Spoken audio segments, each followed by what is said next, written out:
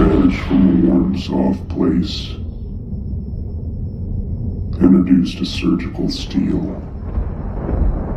Frail. Impressionable. He showed me to my master, commander, and captor, and mother glowing for the first time.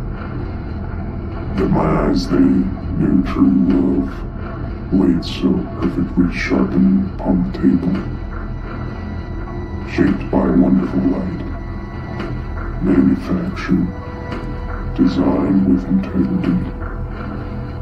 Was it wrong to be aroused at such a young age? Those shining instruments that bore me, cut me, then calling my name, Caesarian, Caesarian, a section in time.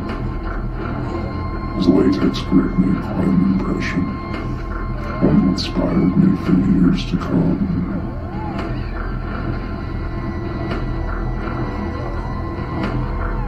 An artist aware of their true form has the most to give.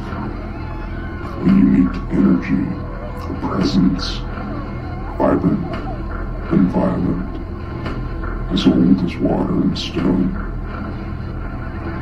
Yet they give names to their creations, disguise them as objects, display in corners where dust dwells.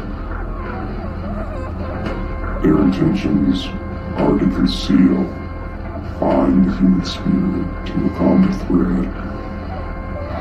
However, I take no solace in disguises, no statements, no meanings. Point of view so sharp it should have cut your time and space. Open now, your eyes and heart. My experience the universe.